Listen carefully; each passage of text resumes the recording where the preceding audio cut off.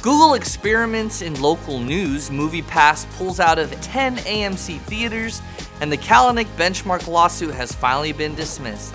It's Friday, January 26th, and this is Crunch Report. Happy Friday, everyone!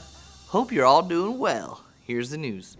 Google is testing a tool called Bulletin that would allow anyone to publish local news stories and events. The company described Bulletin as a way for others to communicate information of local interest, like bookstore readings, high school sporting events, or information about street closures, for example. Slate found a website for creating bulletin posts was already up and running, but was still in early access mode. The service is currently being piloted in Nashville and Oakland, California, the webpage states. MoviePass is at it with the strong negotiating tactics.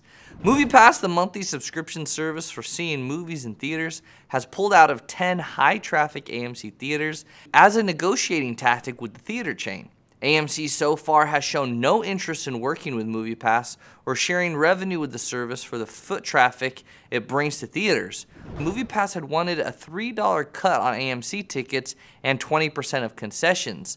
Deadline said it has deals with nearly 1,000 indie cinemas already for a $3 cut and 25% of concessions.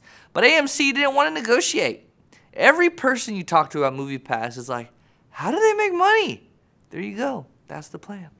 Cuts from the tickets. It's over. Benchmark's lawsuit against former Uber CEO Travis Kalanick has now been dropped, ending one of the biggest VC founder disputes in history. It was dismissed as a condition of the SoftBank investment in Uber getting done. The deal was completed earlier this month, giving both Benchmark and Kalanick an opportunity to sell a significant Uber stake.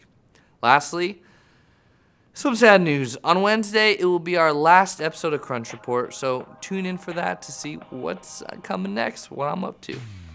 That's our poll for today. Hit that like or love button, share this video, and keep raging. Crunch Report is every weekday at 7 p.m. Eastern. 4 p.m. Pacific on TechCrunch.com. You'll find us on iTunes and on YouTube. All right, see you tomorrow. No, it's the weekend tomorrow. See you on Monday.